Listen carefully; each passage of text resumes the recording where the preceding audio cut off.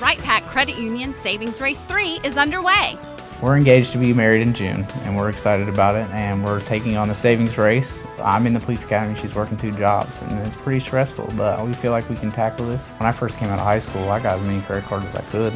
Nobody ever said no. And you're making the minimum payments on all your cards. You realize that you don't want to be in that spot for the rest of your life. We went out and bought the Camaro. It was one of those impulse buys that we didn't think about. A week later, it was, oh no, like it's not like a pair of shoes that you can take back. We signed a loan on that for five or six years. You know, I think we've learned from it. Next time we'll slow down. We started out with having them collect their bills. We're looking at their highest interest rate credit card, starting to pay those down first, working on those, and having that money contribute to the next card. Having debt, having to live paycheck to paycheck, like I don't want to be that person. As far as our relationship, I think this is definitely going to help us start our marriage and this is definitely going to take us to a new level. Follow the savings race and vote for your favorite family once a day at savingsrace.com.